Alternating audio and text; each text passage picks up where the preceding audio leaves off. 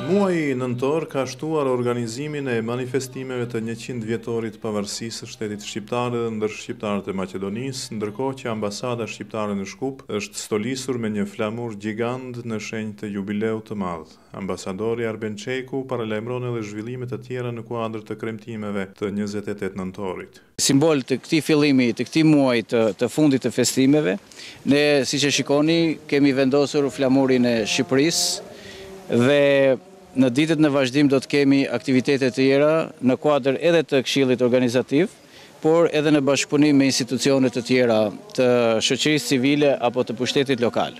Ambasadori shqiptar thekson bashkëpunimin me partitë shqiptare në Maqedoni dhe me faktorë të tjerë shoqërorë e lokalë për sa i përket manifestimeve për njëqind vjetorin. Kemi një koalicion mbarëshqiptar përreth flamurit, në nderim të flamurit dhe në nderim të datës së pavarësisë së Shqipërisë.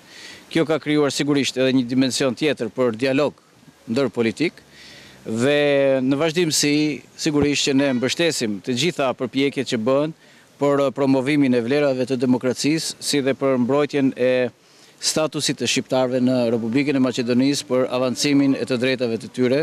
Po organizohen ekspozita me piktura ose fotografi dhe akademi shkencore kushtuar këtij jubileu të madh kombëtar.